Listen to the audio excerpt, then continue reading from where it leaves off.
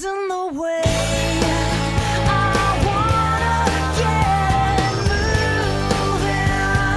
moving. This week on the Parent Experiment, my old co-host Teresa Strasser. Not old, like old. Well, I mean, Old like ex. old in both in Or- both Is uses it of the awkward? word. Is it awkward for you two? No, I Susie actually want to make great. out with her. Just They oh they Which were that would be awkward. That would be awkward. They were very welcoming to me and said a lot of nice things about my book. It was Loved great. her Exploiting My Baby, very Obsessed. funny. Get the book She read it already. immediately.